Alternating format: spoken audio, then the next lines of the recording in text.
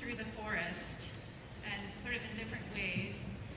The first one has a poem written by a Native American woman who, um, her parents, one, her father was a Mohawk chief, and her mother was an English immigrant. So, very interesting background.